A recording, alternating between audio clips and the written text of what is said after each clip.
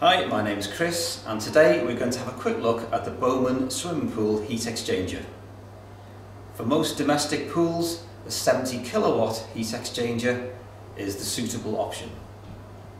For sizing your heat exchanger, the thermal output of your boiler must be less or equal to the capacity of your heat exchanger.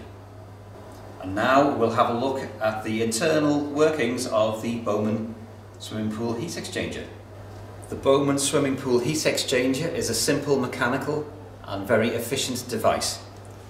Your pool inlet water comes in here, it goes through the tube stack and out the other end back to your pool. The heating water from your boiler comes in the inlet here, surrounds the tube stack and exits here. The flow direction for both must be in opposition. Here on the cutaway for the heat exchanger you can see clearly the end of the tube stack and also the pocket where the probe for your thermostat sits. And here we have the digital thermostat designed for the Bowman heat exchanger.